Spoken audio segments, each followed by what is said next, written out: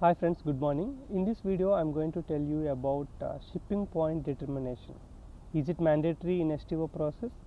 Yes, it is mandatory. The shipping point determination will be done at the plant level or at the storage location level based on your requirement. For example, if you do STO between plants, plant level is enough. If you do STO between storage locations, then storage location level determination is mandatory. This shipping point determination will be happening for the combination of shipping conditions, plant and your loading group.